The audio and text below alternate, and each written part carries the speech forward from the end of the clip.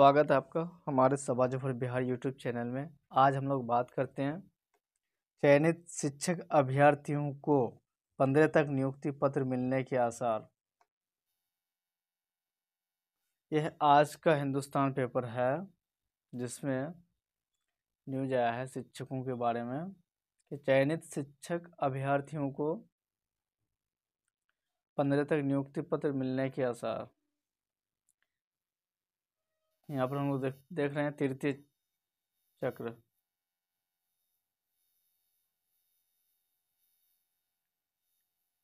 Patna Hindustan bureau, छठे चरण के प्राथमिक शिक्षक नियोजन में छूटे अभ्यर्थियों के लिए हुई तृतीय विशेष चक्र की काउंसलिंग में अंतिम रूप से चयनित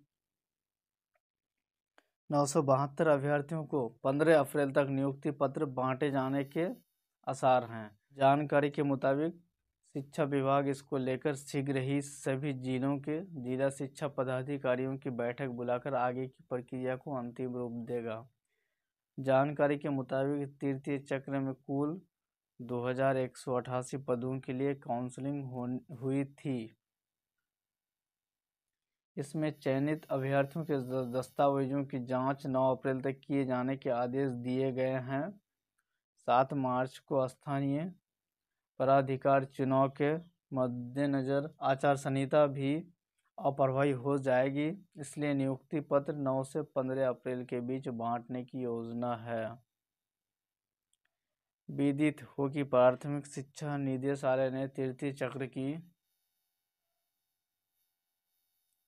काउंसलिंग 14, 15 और 16 मार्च को आहूत की थी। इससे पूर्व छठे चरण में प्राथमिक शिक्षा नियोजन के तहत करीब इकतालीस हज़ार से अधिक नियोजन पत्र बांटे जा चुके हैं। उल्लेखनीय है कि नब्बे हज़ार सात सौ बासठ पदों के लिए हुई काउंसलिंग में आधे से अधिक पद खाली रह गए हैं। तो फिर से हम लोग एक बार रिकॉल करते हैं, यहाँ क्या दिया हुआ है? चयनित शिक्षक अभ्यर्थियों को पंद्रह तक नियुक्ति पत्र मिलने के आसार। ये तृतीय चक्र के के बारे में है। जिसको पंद्रह अप्रैल तक नियुक्ति पर ज्वाइनिंग लेटर मिल जाने के के बारे में बात किया गया है। तृतीय तीसरा चरण के लिए दो हज़ार एक सौ अठासी पदों पर काउंसलिंग हुई थी। इसी तरह से आप हमारे समाज और बिहार यूट्यूब चैनल पर कंटिन्यू बने रहें। आपको बिहार से जुड़ी हर खबरें शिक्षा के बारे में, रोज़गार के बारे में, क्विज कंपटीशन के बारे में, एडमिशन के बारे में। लगातार जानकारी दिए जाएँगे। अगर आप अब तक भी हमारे चैनल को सब्सक्राइब्स नहीं किए हैं तो सब्सक्राइब्स ज़रूर करें। यकीन मानिए, ये चैनल आपके लिए बहुत ही फ़ायदेमंद होगा।